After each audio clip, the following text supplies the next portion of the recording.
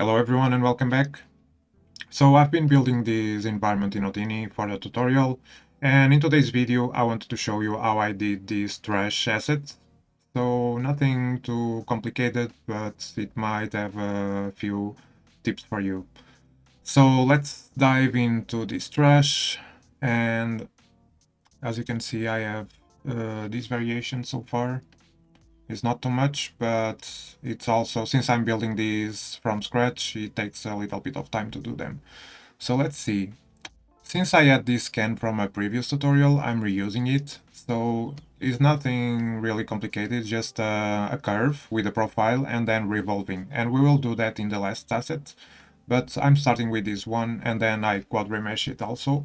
So I'm starting with this base uh, you can ignore these since I tried first doing this with Vellum. Then I'm doing the UVs by selecting the seams in here because I have a group of the seams as you can see. Really simple. Um, you can ignore these. Then I'm going to do these with RBD to squash the, the can as you can see. So for that I have the input, then I'm scattering 500 points and doing a simple Voronoi fracture. We get something like this. Then I'm pinning part of these constraints, since this, this, this Voronoi fracture also outputs the constraints, and I'm pinning part of it, so the top, so I can actually show you how that looks like. So I'm pinning those uh, those top points by using the relative point bounding box, and I can select more or less this case I just want the top part so it doesn't deform. Then RBD configure, uh, I'm not using this bounding box, uh, just changing a bit the collision padding in here and the shrink amount. Then I'm converting the constraints to surface points, that usually works better. From here I am setting the constraints properties, setting to soft and enable the switch constraints to be glue. So at the end I want to switch them to glue. These are my settings. You can increase or decrease these and play with it. I don't think plasticity in here is enabled. Yeah. So then on the top can, I'm setting those to be uh, soft but quite high, as you can see. Uh, the same for the glue and then I'm just simulating this and switching the constraints at frame 18. So if I simulate this, and of course I have also um, a box crushing the, uh, acting as a collider, and it will look something like this. So as you can see, my box is coming down and acting as a collider to crush the, the can. So as I told you at frame 18, I'm switching to the art constraints. Then it's simple as using the RBD deform pieces and I can deform the incoming geometry with, with the constraints and with the proxy geometry, which in this case will be just the full geometry. Then just time shift it and this is my can.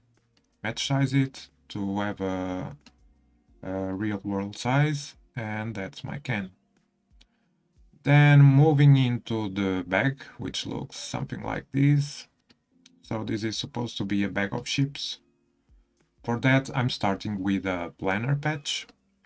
Then plan planar inflate. This is a new node of Houdini 20.5. Saving the boundary edges, so these edges in here, because I'm gonna use it later for UVs. Clipping a bit of the end, as you can see. UV flatten, and I'm using as seams those boundary edges, and we have perfect UVs or close to it. Then doing a simple vellum cloth and a vellum solver in here that will do something like this effect. And inside the vellum solver to have this effect, I could have used a pop attract, but in this case I just used uh, just manipulated here the velocity by getting the bounding box center Uh, creating a vector from the bounding box center minus the p, so a vector pointing in. And I added also some zero-centered offset noise in here to the position, so I get some sort of random effect, as you can see, so it's not very uniform. Then just multiplying a bit the velocity, so it's not so quick, let's say. So that's basically the effect, and I vellum post-process, adding some subdivision, and also some thickness. Then just time shifted and cached. From there, I can just place it on the floor, as you can see. So now let's move into the cup. We have two versions, this one and this one. So for this one, I'm starting with the tube.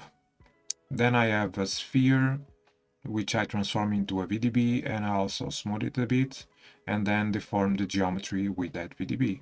So in this case, by doing the a volume sample and a volume gradient, gradient and moving the, the position along the gradient multiplied by the SDF. And we get this sort of effect. So just like a peak deformer or something like that. Then I'm grouping in here um, a center loop just by selecting 12 points out of the, we, the, these 12 points are also the the columns of the tube and I'm selecting that from all the points and then offsetting by in this case the same amount of columns times 3 I can increase in here which I can select in here which one I want just by offsetting this one. Then subdividing UV unwrap cylinder which will work fine for this case. Then in here I'm grouping the unshared points and also saving the boundary groups promoting those two edges then on the first one, I am polyfilling and polybeveling. As you can see, I'm selecting that one of the boundaries. For the other boundary, I'm converting to a line and sweeping. And we get the cup. Then I transform it down, match size it to the correct size in this case, something like that. Then for the second version, I'm object merging the, this mesh and then with that range that we selected in here, this middle one, I'm just soft transforming that in along an axis and playing with the soft radius, as you can see. Bending a little bit, transforming it to place and match sizing.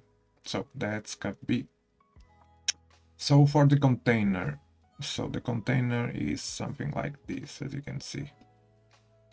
And I'm just doing half of it because I'm lazy. So I'm starting with a grid, inset it a little bit, transforming that in that in extruded front group, polybeveling everything to give that rounded look, selected the unshared edges, poly extruding those unshared edges in a curved way as you can see because I'm coming in here and I'm extruding those unshared and setting in this case the shape to be curved and then I go into spine control and playing with the magnitude in here, as you can see, and with the with all these uh, these pa parameters.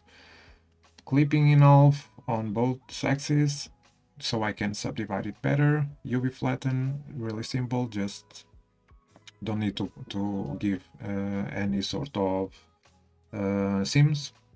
Subdividing because right now I'm going to create a noise so I can clip it clip by attribute that specific noise as you can see so in here just come and clip it to have some some of these holes poly extruding to have some thickness and also I'm poly reducing because I don't need those many polygons. I just wanted that to to have enough geometry for the enough subdivisions for the noise to work.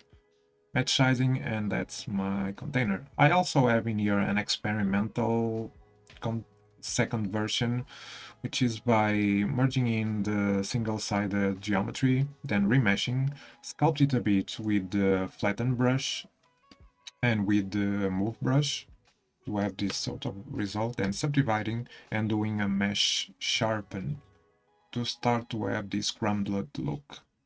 Then I do another attribute blur set to proximity, which is very similar to the mesh sharpen. And from there I can I don't want this sort of geometry at the end because it's too broken and cursed. So I'm going to remesh it, measure the curvature to get those sharp edges. And from here, I can create a target mesh size so I can remesh it by attribute. As you can see, set it to adaptive. And in the target mesh size, I'm just decreasing the value of those convex areas, uh, convex areas, yeah and then reprojecting it to the original version. This doesn't do much, but then I do a small mesh, sharp, mesh sharpen and soften normals and calculate the UVs again, and then just transforming it in place.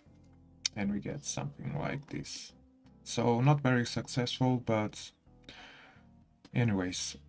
So the last one is the bottle and here I just started with a curve, resample it, selecting one of the points and this will become handy in a later stage. Then revolving, fusing, soft transform to squash it a bit. So I'm just selecting that group, as you can see, that group that expanded. So if I go into points, as you can see, this group in here expanded to this loop. Then I'm I'm doing the soft transform and scaling along the Z. I could play with the soft radius and do a bit more. Then I'm group expanding, so I can promote it to primitives and blast the label that I can pick a little bit, merge it and subdivide it, and we should have the label in here, as you can see. Maybe hard to see, I should give it a color. From here, just transforming it down, and this is the bottle. So a lot of work, and we get something like this, which in the environment, it should I when I scatter it around, it should look something like this. So let me know if you guys want me to cover this environment uh, on the next video. I might start a new series. And yeah, if you want to grab the files from this video, the trash setup, you can do so on my Patreon alongside with exclusive tutorials, uh, hours of exclusive tutorials and all the project files from my videos. Please let me know your thoughts in the comments and other than that, thank you for watching and I'll see you next time. Thank you.